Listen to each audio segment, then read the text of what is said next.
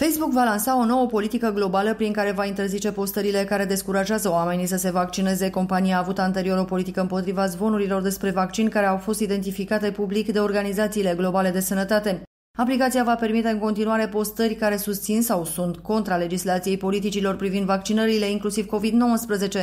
Însă dacă un anunț va descuraja în mod explicit pe cineva să primească un vaccin, postarea va fi respinsă. Noua interdicție vine pe fondul unei serii de schimbări politice anunțate de companie pentru a curăța rețelele sale sociale de conținut problematic pe care anterior ezita să le elimine. Facebook și-a actualizat politicile pentru a interzice conținutul care neagă sau denaturează Holocaustul la doi ani după ce Mark Zuckerberg precizează că astfel de postări trebuie să fie permise în temeiul libertății de exprimare. Rețeaua socială va redirecționa de asemenea pe oricine denigrează Holocaustul către informații credibile de pe alte pagini. Facebook își propune să îndrume pe utilizatori să folosească surse verificate dacă sunt interesați despre genocidul razist, în special din cauza faptului că ultimele date arată că unii tineri americani cred că Holocaustul este un mit sau o exagerare. Facebook va lua măsuri împotriva celor care dezinformează sau creează teorii false și conspiraționiste indiferent de temă. Cooperarea între Asociația Crescătorilor de Albine din Caraș-Severin, Direcția Agricolă Județeană și Prefectură a adus roadele scontate în această toamnă. Apicultorilor care și-au dat tot interesul pentru obținerea ajutorului de minimis acordat de Guvernul României prin Ministerul Agriculturii și Dezvoltării Rurale Ajutorul de minimis reprezintă ajutorul financiar acordat unei întreprinderi unice stabilit la un nivel la care nu se distorsionează concurența sau comerțul la nivelul Uniunii Europene pe durata a trei ani consecutivi.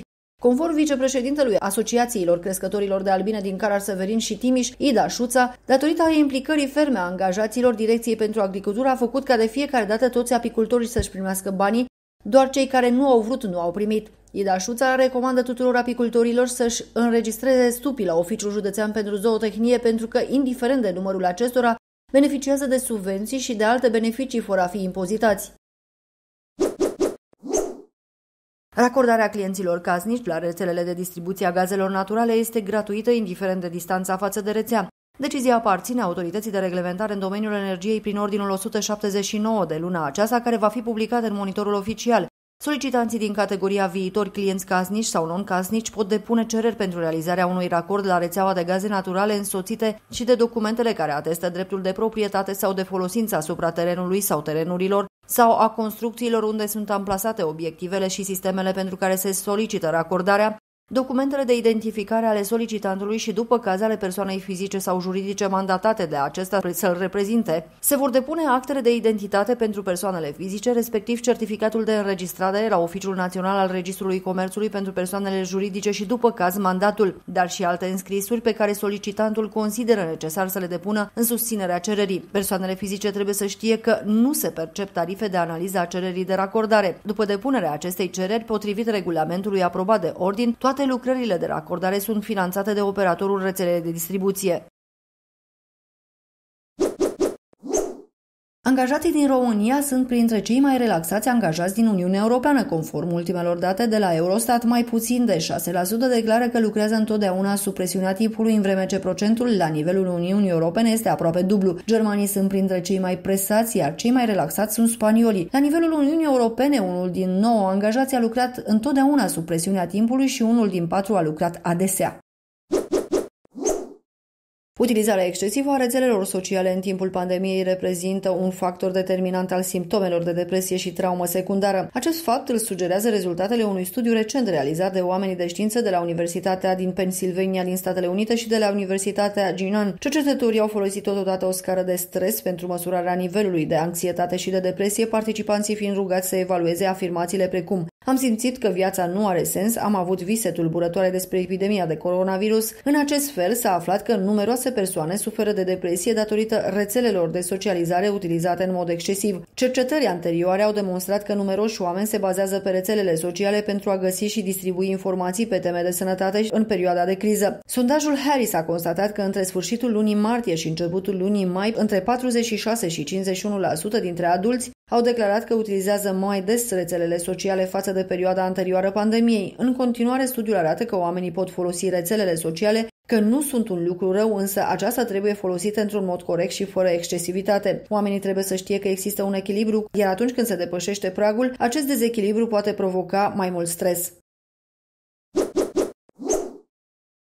Mii de obiecte descoperite de arheologi, unele unicate de mare valoare istorică cu o vechime de sute sau mii de ani, aflate în proprietatea Muzeului Național al Banatului din Timișoara, așteaptă să fie datate, investigate, diagnosticate, restaurate și conservate în cazul lor fiind folosită aparatură utilizată și în misiunile Apollo de cercetare a rocilor selenare. Unele obiecte care au trecut deja prin mâinile experților și specialiștilor de la Laboratorul Zonal de Restaurare al Muzeului Național al Banatului ar putea avea o nouă istorie sau identitate după ce aparatura ultraperformantă cu care a fost dotat laboratorul recent ar putea aduce informații noi despre compoziția, structura și modul de confecționare al acestora. Noua aparatură a fost achiziționată din fonduri de investiții de 100.000 de euro primite de la Consiliul Județean.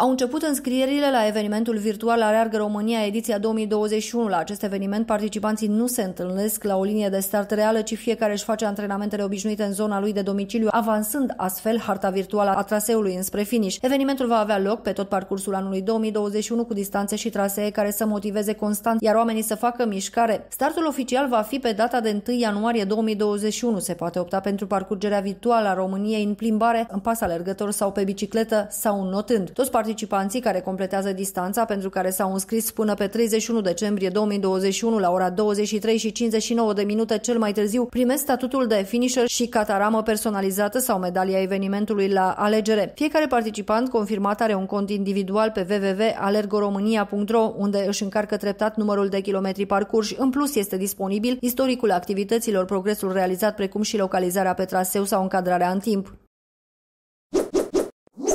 Uniunea Europeană relaxează din nou regulile privind ajutoarele de stat pentru a diminua pierderile generate de coronavirus. Astfel, Uniunea Europeană permite guvernelor să acopere până la 3 milioane de euro din costurile fixe ale companiilor în condițiile în care economia europeană se confruntă cu cea mai profundă recesiune din istoria recentă. Comisia Europeană a decis prelungirea măsurii de relaxare a acestei reguli până în iunie 2021. România va avea în premieră un sistem național de prognoză a calității aerului. Ministrul Mediului, Apelor și Pădurilor Costel Alexe a semnat contractul de finanțare de 81 de milioane de lei, din care 74 de milioane de lei vor fi fonduri europene nerambursabile. Sistemul va putea fi accesat de oricine de pe telefonul mobil. De asemenea, va fi inclus în programele de televiziune. Prognoza națională privind calitatea aerului pentru fiecare oraș în parte va rezulta din suprapunerea bazei naționale de emisii cu datele la zi privind evoluția vremii și a curenților de aer. Până în anul 2020, 2023, sistemul de prognoză va fi calibrat în trei orașe pilot, Ploiești, Brașov și Iași. După finalizarea proiectului, sistemul va fi aplicabil la nivel național. Agenția Națională de Integritate a lansat pe pagina sa de internet o secțiune dedicată alegerilor parlamentare din acest an. Această măsură are ca scop optimizarea procesului de completare a declarațiilor de avere și de interese de către candidați, oferirea asistenței de specialitate în ceea ce privește regimul juridic al incompatibilităților și al conflictelor de interese, dar și informarea societății civile cu privire la obligațiile pe care le au participanții la procesul electoral. Candidații au la dispoziție informații și formulare necesare pentru completarea declarațiilor, iar publicul poate consulta date despre persoanele care au interdicția de a candida. De asemenea, pot fi semnalate și neregulile din declarațiile de avere avere sau de interese depuse. Teodor Țigan este noul director general al Regiei Naționale a Pădurilor Rom Silva până în data de 31 decembrie 2021. Selecția directorului s-a derulat conform ordonanței de urgență privind guvernanța corporativă a întreprinderilor publice. La selecție s-au înscris doi candidați. Teodor Țigan, în vârstă de 62 de ani, a absolvit Liceul Tehnic Silvic din Timișoara și Facultatea de Silvicultură și Explorări Forestiere Brașov. A fost inginer silvic responsabil cu activitatea de fond forestier la Direcția Silvică din Arad, până în anul 2003 și ulterior șef al ocolului Silvic Iuliu Moldovan până în anul 2007. În ultimii 13 ani a ocupat funcția de director al Direcției Silvice din județul Arad, iar în ultimele trei luni și jumătate a asigurat cu mandat interimar conducerea Rom Silva.